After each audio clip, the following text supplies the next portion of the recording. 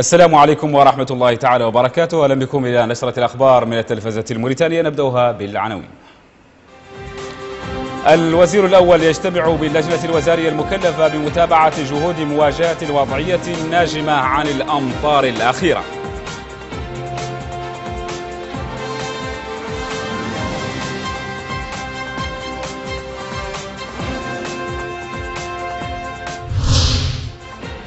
الوزير الأول يؤدي زيارة لبعض المقاطعات المتضررة. جراء الأمطار الأخيرة ويطلع على الإجراءات المتخذة للتخفيف من مخلفاتها على المواطنين.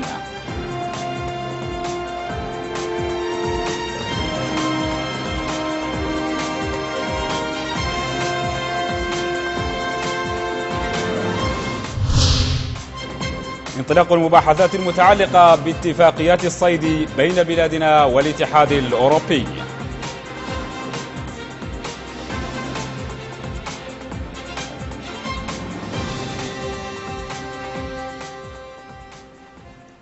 أهلا بكم جميعا. بموجب مرسوم صادر اليوم عن رئاسة الجمهورية وباقتراح من الوزير الأول تم تعيين السادة. وزيرا للعدل السيد سيدي والزين. وزيرا للشؤون الخارجية والتعاون السيد أحمد والتقدي. وزيرا للداخلية واللامركزية السيد محمد واللحم السالم والمحمد رارا. وزيرا للنفط والطاقة والمعادن السيد محمد والخونة. وزيرا للصيد والاقتصاد البحري السيد حمادي والبابا والحمادي. وزيرا للمياه والصرف الصحي السيد محمد سالم والبشير. وزيرا للتعليم الأساسي السيد با عثمان.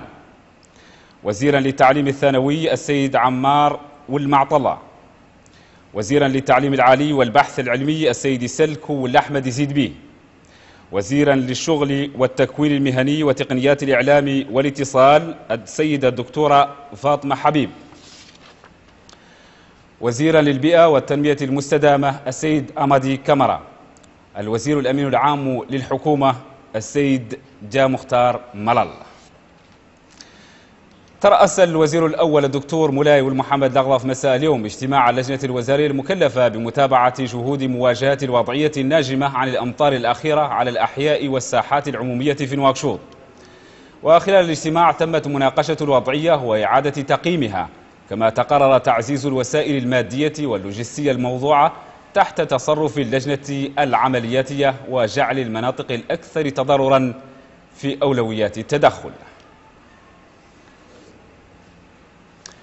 أدى الوزير الأول الدكتور مولاي محمد أغلى ظهر اليوم زيارة لبعض مقاطعات العاصمة المتضررة من مياه الأمطار الأخيرة التي شهدتها نواكشوط وشملت الزيارة حي سوكوجيم بأس بمقاطعة الإكسر ومنطقة الغريقة بمقاطعة الميناء حيث تعرف الوزير الأول عن قرب على الأضرار التي ألحقتها المياه بالمباني والطرقات كما استمع بعين المكان إلى شكاوي المواطنين جراء هذه الوضعية. وكان الوزير الأول مرفوقا في هذه الزيارة بعدد من أعضاء الحكومة.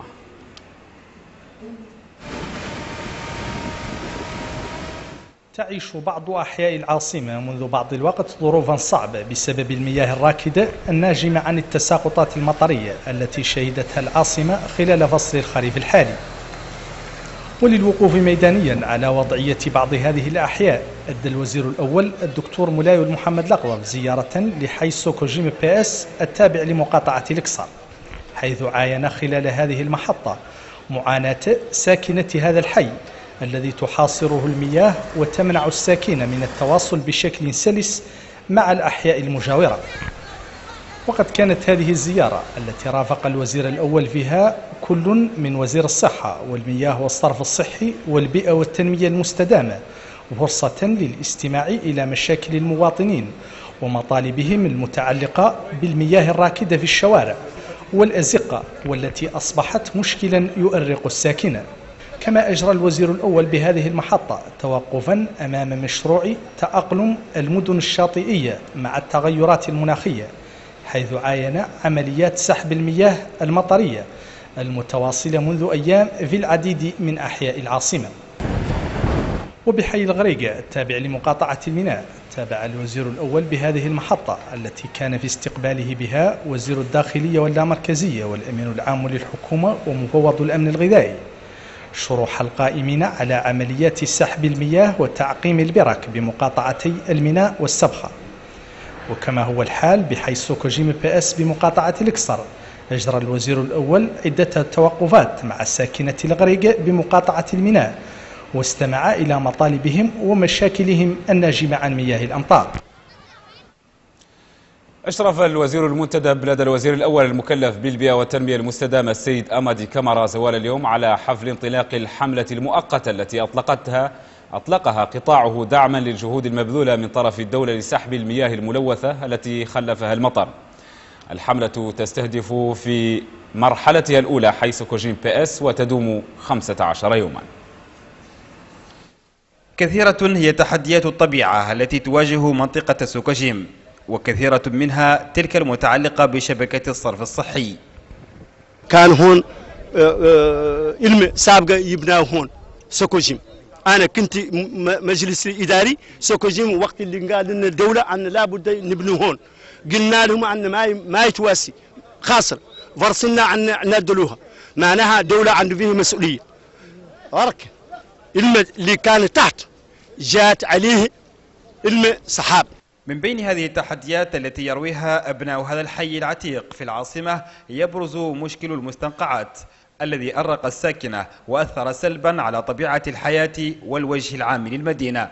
وزارة البيئة ودعما لجهود الدولة المقام بها في المجال تدخلت في هذا الحي بحملة خاصة تستهدف شفط المياه من المساحات العمومية وردم البرك لفك العزلة عن المنازل المتضررة. الوزير المنتدب لدى الوزير الأول المكلف بالبيئة والتنمية المستدامة السيد أمدي كامرا قال إن قطاعه بالتنسيق مع مشروع تأقلم المدن الشاطئية مع التغيرات المناخية خصص حوالي 25 سيارة منها صهاريج لشفط المياه وشاحنات لنقل التربة.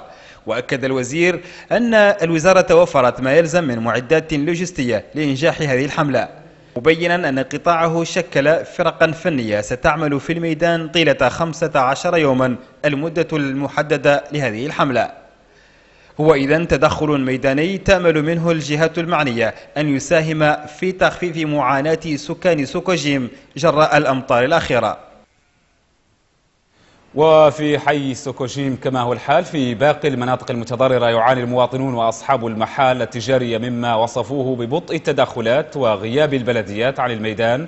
في الوقت الذي آه، تشدد فيه هذه البلديات بلديات العاصمة على ضرورة أخذ الضرائب من المواطنين. لوحظ في العديد من المؤسسات العمومية والخصوصية تأخر الكثير من العمال بشكل يومي عن أماكن عملهم. ملاحظة يعزوها الكثير من سكان العاصمة إلى الاضطرابات المناخية الطارئة وما شهدته مدينة واكشوط من تساقطات مطرية خلفت مستنقعات وبركا أسنة غمرت مياهها الطرق الضيقة والممرات الجانبية ومعظم المساحات والشوارع العمومية. سوكوجيم بي إس في مقاطعة لكصر واحد من أقدم أحياء العاصمة ومن أكثرها تضررا من هذه الظاهرة. نحن السكان ساكنين هون سوكوجيم بي اس ضيعنا الماء ضيعنا الماء ما نقدر نقيس بوتيك ما نقدر نقيس مارش ما نقدر نقول نمشي شهر شغلتنا. تركبون مرضى قبرون لا باليديزم يجونا الدولة يعاوننا. السلطات العمومية تدخلت في الوقت المناسب من خلال لجنة وزارية تم تشكيلها مؤخرا ووضعت الدولة تحت تصرفها كافة اللوازم الضرورية للتدخل عند الحاجة.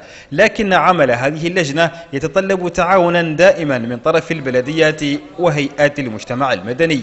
أنا صاحب محل في المنطقة اللي هي ونبيع مواد خسرت تطلع الهلمة. والظاهرة أننا الوتات عندنا موقفهم 20 كيلو نمشي مقوطرين والما وقفت وتحمل خالق من الطرق طريقين والله ثلاثة هم الخالقين وهم اللي قاعدين يتشع عليهم وفيهم من الزحمة شيء خيالي والمال وتات خسروا كلها مكاينهم ويوصل المشاكل اللي هي هاي المنطقة اللي قالها سكوجيم منطقة منكوبة. ويا الله الدولة تعرف ليش شيء؟ البلدية ما قط جاو يكون له يقبضوا الضريبة ولا جاوا الضرايب يقفلوك ونعتوا لك كاع استحقار وإنك ما لك لقاش ويانك مواطن. كل شهر ضريبة 4000 وقية والفين على المحلات الصغيرة ويا ما قط جبرنا له فايدة أسوي شنو بين الجهود الحديثة التي تبذلها الدولة حاليا لاحتواء هذه الوضعية وشبكة الصرف الصحي المرتقبة يبقى المواطن مسؤولا عن التعامل بحذر مع هذه المياه الملوثة خوفا على صحته فتحت هذه المياه ينام الخطر. انطلقت صباح اليوم بالعاصمة إشغال الورشة المتعلقة باعتماد وثيقة سياسية لمكافحة التبغ في موريتانيا. وتحين المخطط الاستراتيجي لمكافحة هذه الآفة الخطيرة خلال الفترة ما بين 2013 و2015 والمنظمة من طرف وزارة الصحة بالتعاون مع منظمة الصحة العالمية ومركز مكافحة التبغ في إفريقيا. وتهدف هذه الورشة إلى وضع استراتيجية للتصدي لهذه المعضلة الخطيرة والتخفيف من آثارها. الحصول على مشاركة مختلف الوحدات الصحية في مكافحة التدخين وإطلاع المشاركين على مسار إعداد المخطط الاستراتيجي لمكافحة التبق وتحديد آليات التعاون بين مختلف الفاعلين المعنيين أهداف جاءت لتحديد التعاطي مع ظاهرة التدخين من خلال اعتماد وثيقة سياسية لمكافحة التبق ببلادنا وتحيي المخطط الاستراتيجي لمكافحته خلال فترة 2013-2015 لقد أصبح التدخين إحدى مشاكل الصحة العمومية في بلادنا نتيجة تعاطيه المتزايد والمقلق من طرف العديد من المواطنين وخاصة الشباب حيث تشير الإحصائيات ذات الصلة إلى استعماله بنسب تتراوح من 18 إلى 70% عند الشباب من فئة 13 إلى 15 سنة. كما يمثل استعمال التبق عامل خطر بالإصابة بالعديد من الأمراض غير المتنقلة مثل سرطان الرئة والفم والحنجرة وعنق الرحم والمثانة والكلى والطحال. ولمواجهة هذه المعضلة بادرت السلطات العمومية في بلادنا إلى تعزيز مكافحة التدخين. ممثل منظمة الصحة العالمية ببلادنا السيد جان بيير بابتيست طالب بمصادقة البرلمان الموريتاني على مشروع القانون الخاص بالتدخين والذي صادق عليه مجلس الوزراء مؤكدا استعداد هيئته لمواكبة بلادنا في كل الاستراتيجيات المتعلقة بالتدخين بالتعاون مع مركز محاربة التدخين بأفريقيا كلاتا لخفض الوفيات المرتبطة بالتدخين. وفي الأخير تابع المشاركون من ممثلي هيئة المجتمع المدني وأطر وزارة الصحة ومنتخبين المحليين والمهتمين عروضا حول سياسة بلادنا في مجال محاربة التدخين الأهداف والاستراتيجيات سبيلا لاعتماد هذه الوثيقة الهامة في المجال الصحي. انطلقت صباح اليوم بمباني وزارة الصيد والاقتصاد البحري المباحثات المتعلقة باتفاقية الصيد بين بلادنا والاتحاد الأوروبي. ويتناول هذا اللقاء بعض النقاط التي كانت موضوعا اجتماعي موضوع اجتماعي باريس وبروكسل. هذا اللقاء والذي احتضنته وزارة الصيد والاقتصاد البحري مباحثات بين بلادنا والاتحاد الأوروبي تعلقت باتفاقية الصيد. وسيخصص هذا اللقاء لنقاش بعض النقاط التي كانت موضوع اجتماع باريس وبروكسل.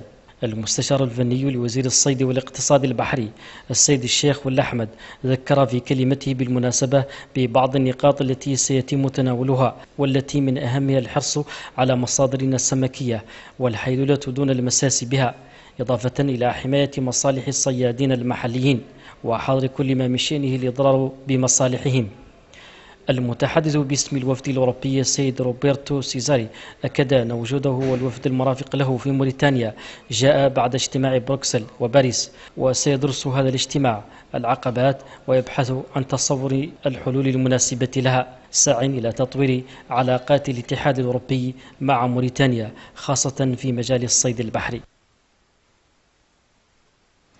أشرف والي تير زمور رفقة السلطات الإدارية والمنتخبين المحليين في مقاطعة بير مقرين على حفل تدشين منشآت صحية لصالح ساكنة هذه المقاطعة. كما اطلعوا على سير العمل في بعض المؤسسات العمومية في المنطقة ومعرضا للمنتجات التقليدية. بوضع هذا الحجر الأساسي للمنشأة الصحية بمقاطعة بير مقرين بولاية تيرس الزمور تودع ساكنتها سنوات طويلة من عدام أهم مقومات الحياة.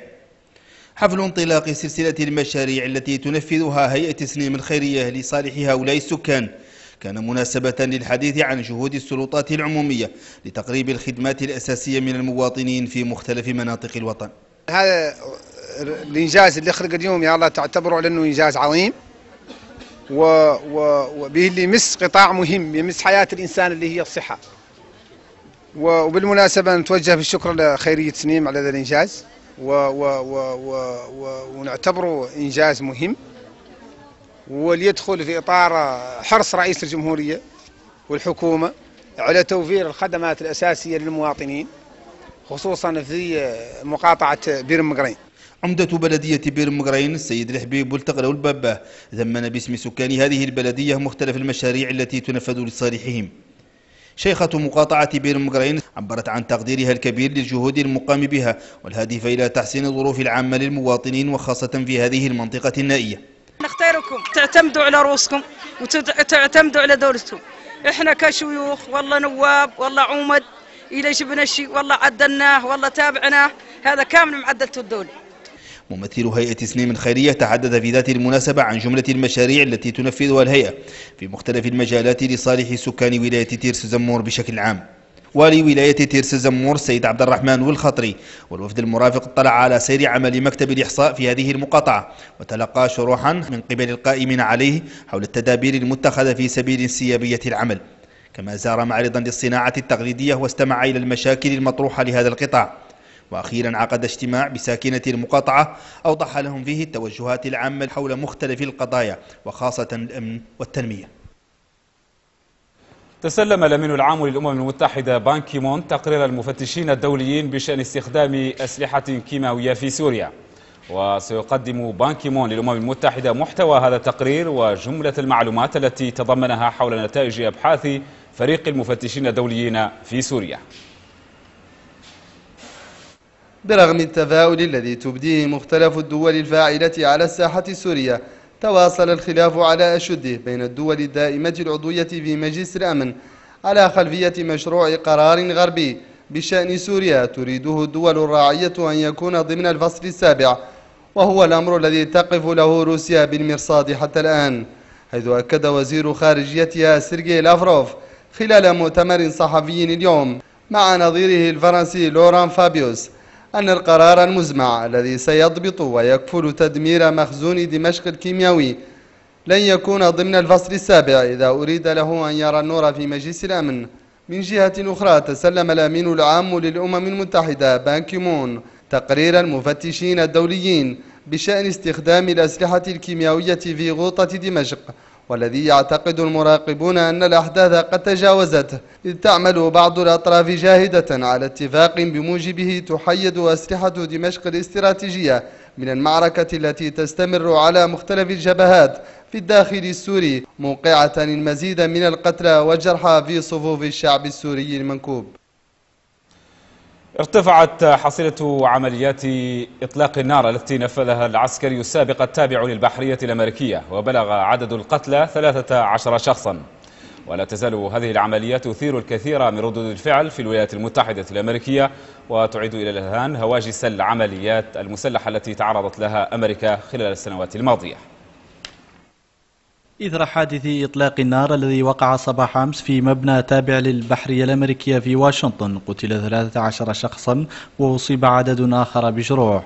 وكان المسلح الذي أطلق النار قد قتل على أيدي قوات الشرطة واسمه أران أليكسيس وهو أمريكي من أصول إفريقية ينحدر من مدينة فورت وورث بولاية تكساس حسب ما أفادت ممثلة مكتب التحقيقات الفيدرالي اي وكان أحد شهود العيان قد أشار إلى أن الجاني كان يطلق النار من الطابق الرابع على رواد الكافيتيريا في الطابق الأول فيما أكد بيان للبيت الأبيض أن الرئيس الأمريكي باراك أوباما كان يتابع الحادثة أولا بأول وتعهد باتخاذ كل الإجراءات الكفيلة باعتقال المسؤولين عن الهجوم وإحالتهم للقضاء. والآن إلى جديد الرياضة وزميل عبد الرحمن السالم.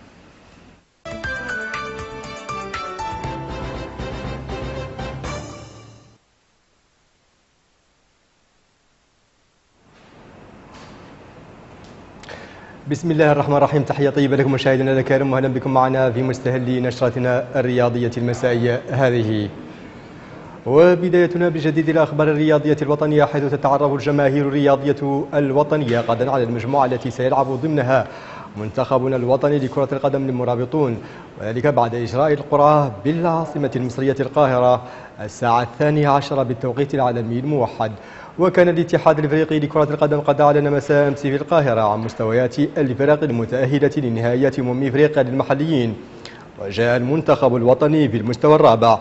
رغم نتائجه الجيدة في المباريات الأخيرة غير أن الاتحاد الإفريقي لكرة القدم الكاف لم يعتمد نتائج المنتخبات خلال السنة الحالية التي شهدت تطورا في أداء المنتخب الوطني لكرة القدم المرابطون. وقد وضعت قرعة تحديد المجموعات الخاصة بالمنتخبات المشاركة في نهائيات أمم إفريقيا المحليين منتخبنا الوطني في المستوى الرابع رفقة منتخبات المغرب والكونغو والموزمبيق. وجاء في المستوى الأول منتخبات جنوب إفريقيا والكونغو الديمقراطية وزيمبابوي وغانا. وفي المستوى الثاني منتخبات مالي وليبيا والغابون وأوغندا. وفي المستوى الثالث بوروندي بوركينا فاسو ونيجيريا وأثيوبيا. وقد تم استحداث هذه البطولة القارية الهامة عام 2009 من طرف الاتحاد الافريقي لكرة القدم كبطولة خاصة باللاعبين الذين ينشطون داخل القارة. تنظم كل عامين بين الدول الإفريقية المتأهلة عن التصفيات لتحديد بطل القارة الإفريقية المحليين. وكانت الكوت ديفوار هي أول دولة تستضيف البطولة فيما كانت الكونغو الديمقراطية هي أول دولة إفريقية تتوج بلقبها. قال الناخب الوطني الفرنسي باتريس نوفو إنه يشعر بالارتياح الكبير لمعسكر المنتخب الوطني الأخير في إسبانيا. وفوزه وديا على كندا معتبرا بأن المعسكر أعطى النتائج المرجوة منه. مشيرا إلى أن اللاعبين المحليين والمحترفين شكلوا فريقا متفاهما سواء في التدريبات أو في المباراتين الوديتين مع كندا. وأضاف باتريس أن مستوى اللاعبين المحترفين في الخارج كان جيدا ويبشر بكل خير على نتائج المنتخب الوطني الأول مشيرا إلى صعوبة المهمة القادمة للمنتخب الوطني ضمن نهائيات أمم إفريقيا للمحليين. غير أن المنتخب يضيف باتريس سوف يواصل الإعداد لتلك النهائيات عبر المزيد من المعسكرات التحضيرية. كما سيعمل في وقت نفسه على تحضير المنتخب الأول لتصفيات أمم إفريقيا في المغرب 2015 مؤكدا على أن الجميع والجمع بين بين المهمتين ليس بالأمر الصعب وإنه يسعى بكل قوة لتحقيق ذلك. وطنيا دائما وفي إطار تحضيراته للموسم الكروي القادم يخوض نادي زمزم مباراة ودية بكامل نجومه الفائزين بالكأس الوطنية باستثناء لاعب الارتكاز سعدون الذي انتقل حديثا للعميد فريق الكسر وصيف الدوري الوطني الممتاز لكرة القدم. المباراة الودية ستجمع بطل الكأس الوطنية مساء الجمعة القادم. بنظيره فريق صلاح الدين من مدينة أكجوجت الذي لعب مؤخرا الأدوار النهائية لبطولة الدرجة الثانية. وتأتي هذه المباراة الودية التي ستجرى بالملعب البلدي في مدينة أكجوجت بدعوة من العصبة الجهوية لكرة القدم في ولاية إنشيري كتكريم لنادي زمزم بعد تتويجه مؤخرا بالكأس الوطنية على حساب نادي الكدية من مدينة الزويرات وخارج ملاعبنا الوطنية انطلقت بمدينة نيس الفرنسية فعالية النسخة السادسة عشر من الألعاب الأولمبية الفراكفونية بمشاركة 21 دولة ناطقة باللغة الفرنسية. تم افتتاح التظاهرة الرياضية بحضور شخصيات فرنسية وإفريقية. يتقدمها الأمين العام لمنظمة الدول الناطقة باللغة الفرنسية. وفي كلمة افتتاحية له بالمناسبة أكد عمدة مدينة نيس السيد كريستيان ستروس على أن التظاهرة تشكل مناسبة للاقتلاء والتلاقي بين الشعوب الشعوب الفراكفونية وتقوية الروابط التاريخية التي تجمعها في ظل تنافس رياضي يتميز بالروح الرياضية والتآخي بين شعوب هذه المنظمة. وفي افتتاح لعبة كرة القدم بالبطولة الفراكفونية خسر منتخب المغرب أمام نظيره الكونغولي بهدف دون مقابل. جاء هذا الهدف الوحيد خلال المباراة عن طريق المهاجم موزيس مولا من ضربة جزاء. أخيرا في رياضة الكرة الصفراء حيث صعد السويسري روجي فيدرير مرتبة واحدة. وعاد إلى المركز الخامس على لائحة التصنيف الجديد للاعبي التنسي المحترفين التي لا يزال الصربي نوفاك دجوكوفيتش يتصدرها برصيد 11120 نقطة. وجاء تقدم فيدرير على حساب التشيكي توماس بريدتش الذي تراجع إلى المركز السادس. وكان فيدرير قد غاب عن المشاركة في مباريات نهاية الأسبوع الماضي التي أدت إلى بقاء بلاده ضمن المجموعة العالمية لمسابقة كأس ديفيز. نهاية أخبارنا الرياضية أشكركم على طيب المتابعة. وبحضراتكم إلى الجانب الآخر من الاستوديو الاستوديو الخاص بالأخبار السياسية والزميل فتن.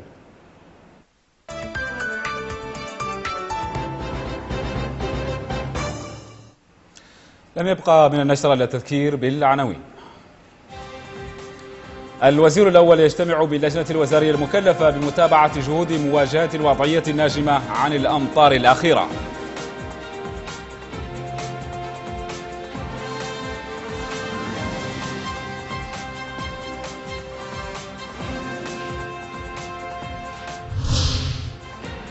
الوزير الأول يؤدي زيارة لبعض المقاطعات المتضررة جراء الأمطار الأخيرة ويطلع على الإجراءات المتخذة للتخفيف من مخلفاتها على المواطنين.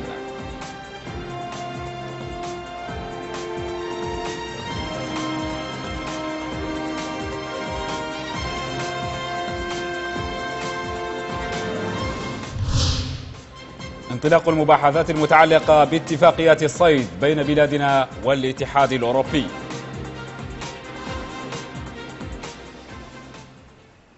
انتهت النشرة في أمان الله.